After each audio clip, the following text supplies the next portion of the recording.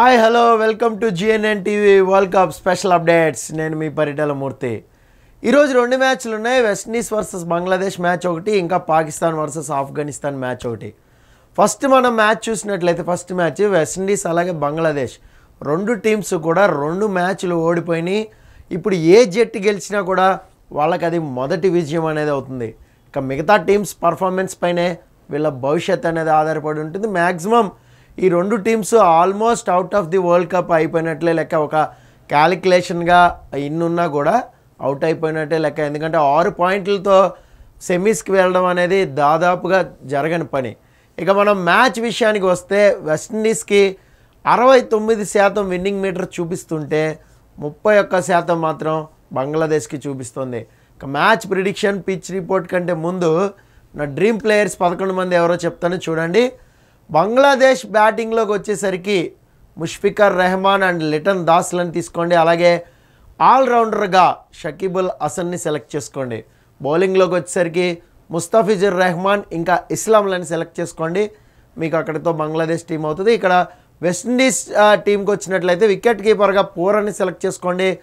బ్యాటింగ్లో మంచి ఫామ్లో ఉన్నాడు. లూయిస్ని సెలెక్ట్ చేసుకోండి. ఆల్రౌండర్స్గా అయితే పొలాడ్ అండ్ రసెల్ని ఇంకా ఇద్దరిని తీసుకోండి. ఇంకా బౌలింగ్లోకి వచ్చేసరికి రవి రాంపాల్ బ్రావల్ని సెలెక్ట్ చేసుకుంటే మీకు టీం అనేది సరిగ్గా సరిపోతుంది. పదకొండు మంది కూడా వచ్చేస్తారు. కెప్టెన్ వైస్ కెప్టెన్ ఎలాగో మీరు పెట్టేసుకుంటారు. ఇక పిచ్ విషయానికి వస్తే చాలా స్లో పిచ్ ఇది. ఫస్ట్ బ్యాటింగ్ చేసిన వాళ్ళకి కొద్దిగా కష్టం అనేది చెప్పాలి. ఎందుకంటే ఆగి ఆగి బాల్ బ్యాట్ మీదకి అనేది వస్తుంది. అంటే స్లోగా వస్తుంది. చాలా ఓపిక్గా బ్యాటింగ్ చేయాల్సిన పిచ్ ఇది. కాబట్టి స్లో కటర్స్కి ఎక్కువగా వర్కౌట్ అయ్యే అవకాశం ఉంటుంది బౌలింగ్లో. ఫస్ట్ బ్యాటింగ్ చేస్తే మాత్రం నూట డెబ్బై రన్స్ పైనే కొడితేనే గెలిచే ఛాన్సెస్ ఉంటాయి. లేదంటే మాత్రం మ్యాచ్ మీద ఆశలు వదిలేసుకోవచ్చు. ఇంకా టైట్ బౌలింగ్ చేస్తే మాత్రం చెప్పలేం.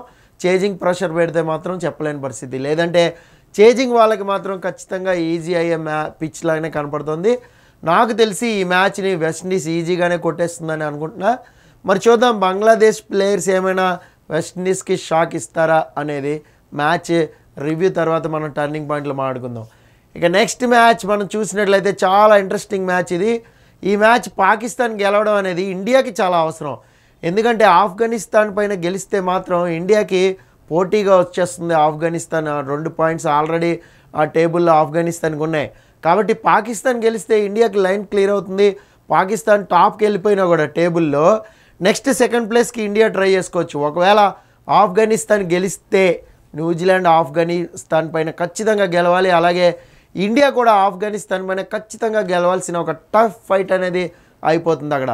సో ఈ మ్యాచ్ పాకిస్తాన్ గెలిస్తేనే బాగుంటుంది. ఇండియన్స్గా మనం అదే కోరుకోవాలి. అప్పుడు మనం న్యూజిలాండ్ పైన గెలిస్తే సెమీ సాహసులు అనేవి మనకి సజీవంగా అలాగే ఉంటాయి. ఇక మన ప్లేయర్స్ విషయానికి వస్తే వికెట్ కీపర్గా రిజ్వాన్ని బ్యాటింగ్లో బాబర్ ఫకర్ జమాన్ ఇద్దరిని తీసుకోండి. అలాగే హఫీజుల్ని కూడా సెలెక్ట్ చేసుకోండి ముగ్గురు బ్యాట్స్మెన్ని.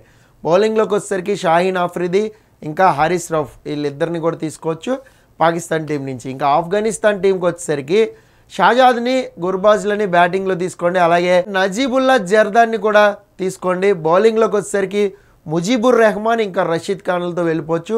టీం మీకు పర్ఫెక్ట్గా బ్యాలెన్స్ అయిపోతుంది. ఇక విన్నింగ్ మీటర్ చూస్తే పాకిస్తాన్కి ఎనభై శాతం చూపిస్తుంటే కేవలం ఇరవై శాతం మాత్రమే ఆఫ్ఘనిస్తాన్కి ఉంది. ఆఫ్ఘనిస్తాన్ అండ్ పాకిస్తాన్ మ్యాచ్ దుబాయ్లో అంటే ఎప్పుడు ఆసక్తికరమే. ఎందుకంటే అది ఒక దాయదల పోరులాగానే ఉంటుంది ఎప్పుడు కూడా. ఆఫ్ఘనిస్తాన్ని తక్కువ అంచనా వేస్తే మాత్రం ఖచ్చితంగా పాకిస్తాన్ కంగు తింటుంది నో డౌట్ సో తేలిగ్గా తీసుకోకుండా టీమ్గా ఆడితే మాత్రం పాకిస్తాన్ ఖచ్చితంగా విజయం సాధిస్తుందని నేను అనుకుంటున్నా.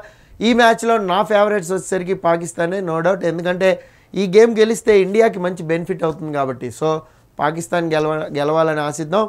మరో మ్యాచ్ ప్రిడిక్షన్లో మళ్ళీ కలుసుకుందాం. పరిటాల మూర్తి అని టైప్ చేయండి. నా Facebook page Insta Twitter follow అవ్వండి. This is Paritala Murthy signing off bye bye hi it's me Madhavi Lata. Please subscribe to TV